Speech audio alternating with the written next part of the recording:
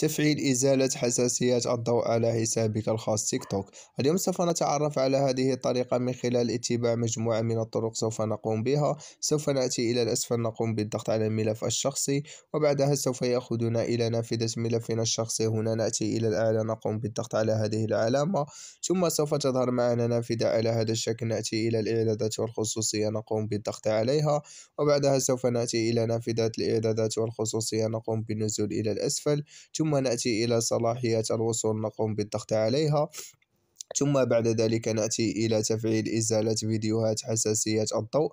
نقوم بتفعيلها من خلال الضغط على العلامة البيضاء وهنا أصبحت باللون الأزرق يعني تم تفعيل إزالة فيديوهات حساسية الضوء أو إزالة الفيديوهات التي تستخدم مؤثرات قد تؤدي إلى حدوث نوبات حساسية الضوء على حسابك الخاص.